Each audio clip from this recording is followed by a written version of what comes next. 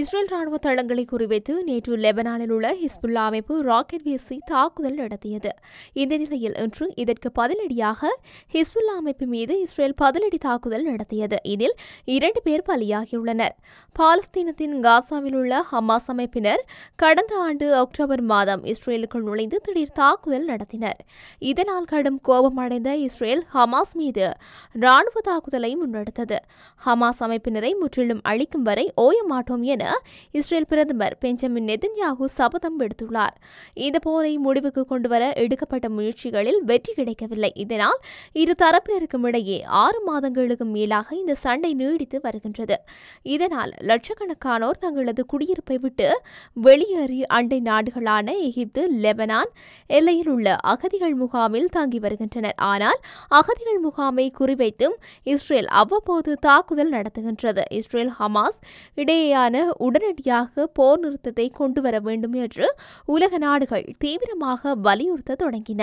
இஸ்ரேலுக்கு ஆதரவாக நின்று அமெரிக்கா கூட உடனடியாக போரை நிறுத்த வேண்டும் என்று கேட்டுக்கொண்டது. ஆனாலும் இஸ்ரேல் போர் நிறுத்தத்திற்கு சம்மதம் தெரிவிக்காமல் தொடர்ந்து தாக்குதல் நடத்தி வருகின்றது. இதனிடையே நேற்றிரவு இஸ்ரேல் ராணுவ தளங்களை குறிவைத்து லெபனானில் உள்ள ஹிஸ்புல்லா அமைப்பு ராக்கெட் வீசி தாக்குதல் நடத்தியது. கர்ஜூஸ்தா வகை ராக்கெட்களை ஏவி அடுத்தடுத்து தாக்குதல் நடத்தியது லெபனானில் உள்ள ஆயுத குழுவான ஹிஸ்புல்லா அமைப்பிற்கு ஈரான் நிதியுதவி அளித்து வருகின்றது.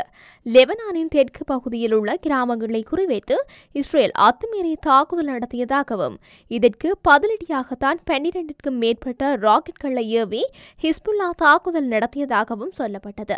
ஹிஸ்புல்லா அமைப்பு நடத்திய தாக்குதலால் கோபமடைந்த இஸ்ரேல் ராணுவம் தெற்கு லெபனானில் ஹிஸ்புல்லா அமைப்பினர் முகாம்களை குறிவைத்து ட்ரோன் தாக்குதல் நடத்தியது. இந்த தாக்குதலில் ஹிஸ்புல்லா அமைப்பினரின் வான் பாதுகாப்பு படையில் பணியாற்றிய என்ஜினியர் உட்பட இரண்டு பேர் பலியாகியுள்ளனர்.